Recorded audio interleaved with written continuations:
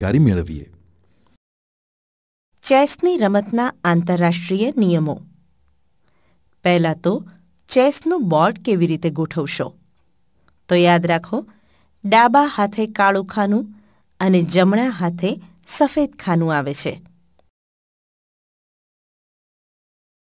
સફેદ રાજા કાળા ખાનામાં અને કાળો રાજા સફેદ ખાનામાં આવે. બંને રાજા બોર્ડ ઉપર સામસામાં આવે છે.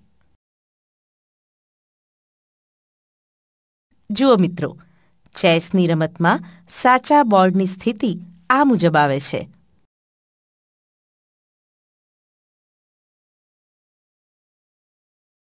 સફેદવાળો ખેલાડી જ હંમેશા પ્રથમ ચાલ ચાલે છે. મિત્રો, જે મોરાને અડકો, તે જ મોરાને ચાલવું પડે. બીજું મોરું ચાલી શકાય નહીં. એટલે કે ટચ ટુ મૂવ આવે. આ નિયમનું પાલન ન કરનાર ખેલાડીને હરીફાઈમાંથી ડાયરેક્ટ બહાર કરી શકે છે. અથવા ત્રણ વખત પાલન ન કરે, તો હારેલ પણ જાહેર કરી શકાય છે.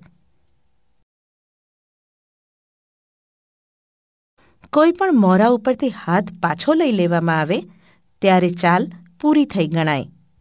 એટલે કે જો તમારો હાથ તમારા મોરાને અડકેલો જ હોય, તો આ મોરું બીજા ખાનામાં પણ ચાલી શકાય છે.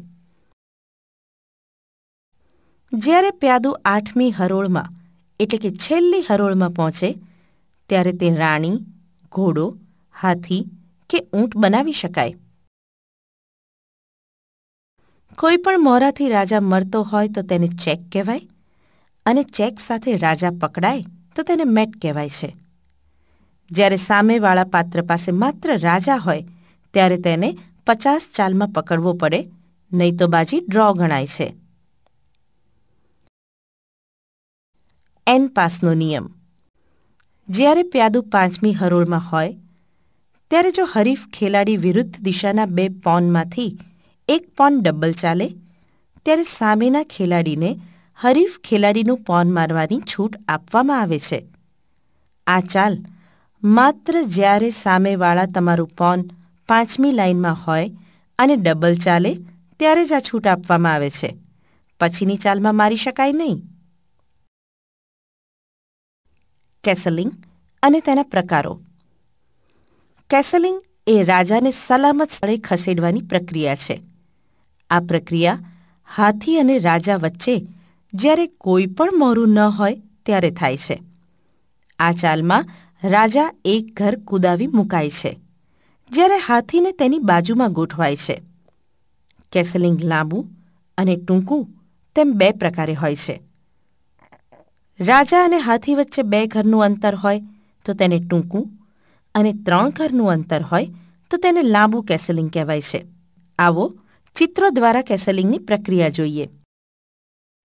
મિત્રો, ત્રણ ખાનાવાળું લાંબુ અને બે ખાના વચ્ચેનું હોય તો ટૂંકું કેસલિંગ કહેવાય. કેસલિંગ ક્યારે ન થાય? જ્યારે રાજા તેના ઓરિજિનલ ઘરમાંથી એક પણ વખત ચાલે, તો રમત દરમિયાન ક્યારે પણ કેસલિંગ કરી શકતો નથી.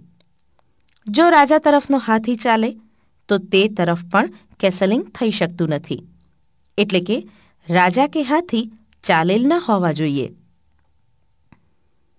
જ્યારે રાજાને ચેક ચાલતો હોય, ત્યારે પણ કેસલિંગ કરી શકાય નહીં. પહેલાં ચેક દૂર કરવો પડે અને પછીની ચાલમાં જ કેસલિંગ થાય. જો રાજા ચેકમાંથી પસાર થતો હોય, તો પણ કેસલિંગ કરી શકાય નહીં. કેસલિંગ કર્યા પછી રાજાને ચેક આવતો હોય, તો પણ કેસલિંગ કરી શકાય નહીં.